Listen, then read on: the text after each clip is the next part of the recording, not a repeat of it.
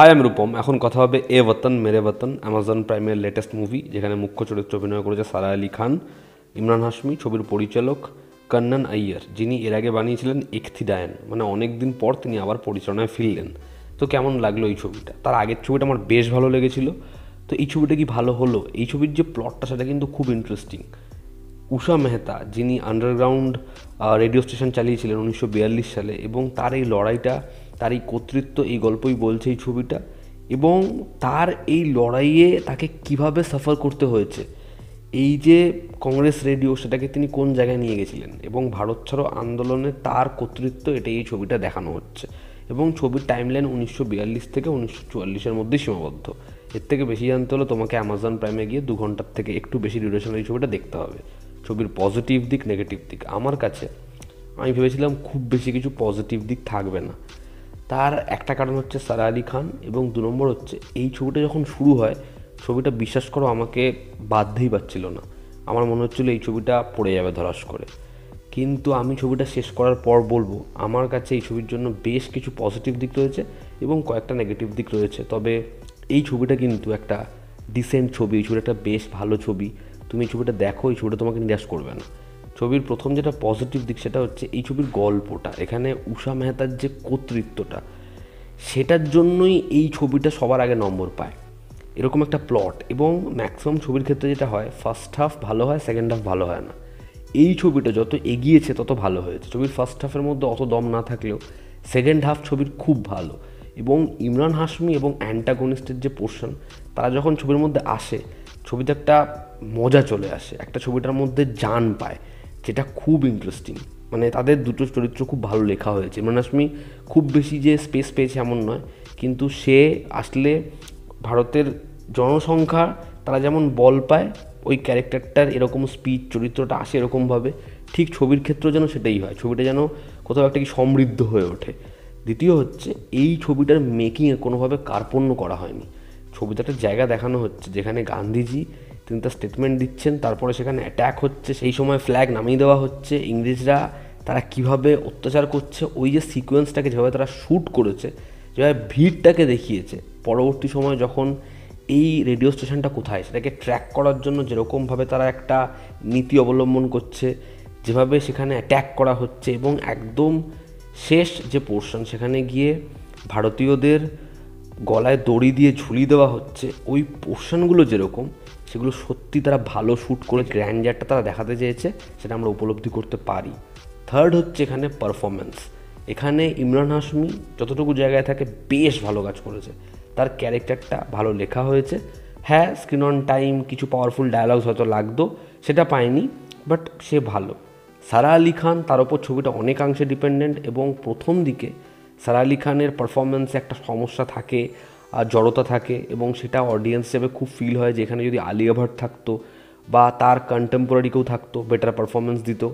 তবে সারা আলি খান কিন্তু যত ছবিটা এগিয়েছে, তাকেও ভালো লাগে, সে চেষ্টা করেছে তার আগের পারফরমেন্স থেকে অনেক অনেক বেটার এবং এখানে স্পর্শ, তার পারফরমেন্স বেশ ভালো। মানে স্পর্শ, লাপাতা লেডিস এত ভালো কাজ করল, এখানে বেশ বেশ ভালো।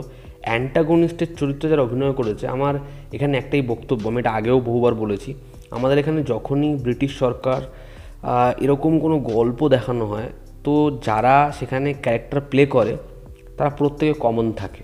ফলে তাদের না খুব বেশি কিছু করার থাকে না। মানে তারা হয়তো এর আগেও বহু ছবিতে অ্যান্টাগনিস্টের চরিত্রে অভিনয় করেছে।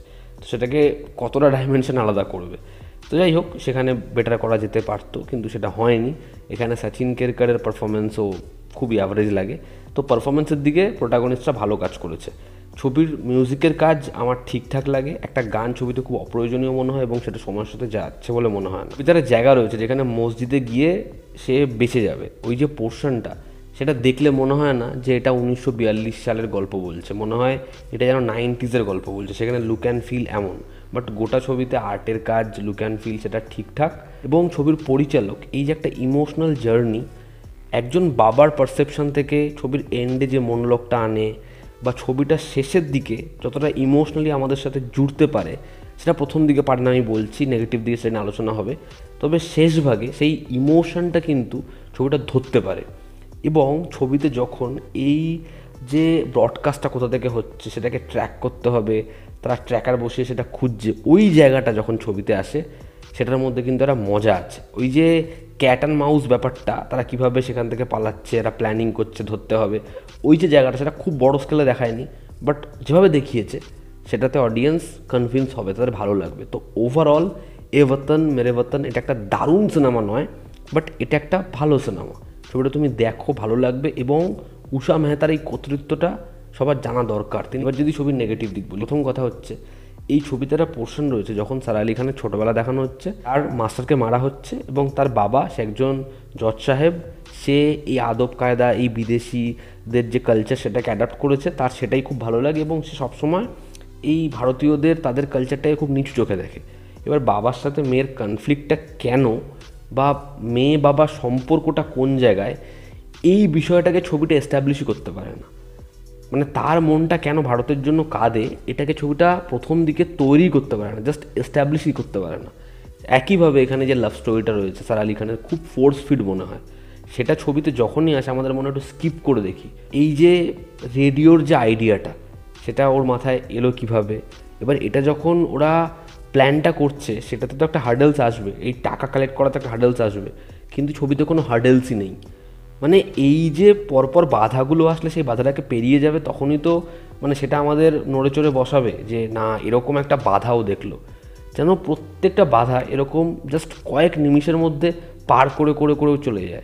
ফলে চিত্রনাট্যে ফার্স্ট হাফে একটা বড় সমস্যা রয়েছে, সেটা ইমোশনালি জুটতে পারে না, সেখানে হার্ডেলসগুলো ঠিকঠাক নেই এবং সেখানে কোনো ক্যারেক্টারই যেন খুব জোরালো নয়। এখানে গান্ধীজির চরিত্রটাকে দেখানো হয়েছে। তুমি তার লুক মেকআপ দেখো মনেই হবে না গান্ধীজি। এবং সেখানে ডিটেলিংয়ে রিসার্চে যেভাবে প্রথম দিকে জিনিসপত্রগুলো আসে, সেখানে যথেষ্ট একটা গাফিলতি এবং সেটা খুব ওপর ওপর দিয়ে সারফেস লেভেলে চলছে এমনটাই আমাদের মনে হয়, যেটা সেকেন্ড হাফে গিয়ে অনেকটা বেটার হয়ে যায়। ছবিতে একটা পোর্শন রয়েছে, যখন একটা মিথ্যে প্রতিশ্রুতি, কথা দিয়ে না রাখা, বলছে আমি এগুলোর সাথে যুক্ত থাকব না, কিন্তু থাকছে।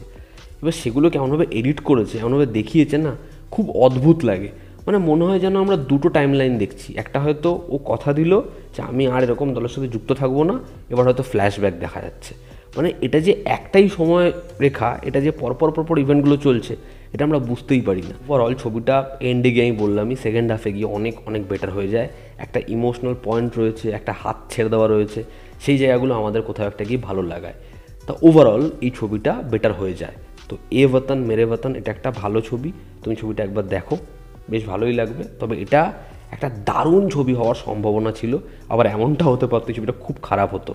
এই ছবিটা খারাপ ছবি একদমই হয়নি, আবার দারুণ একটা সিনেমাও হয়নি একটা ভালো ছবি হয়েছে।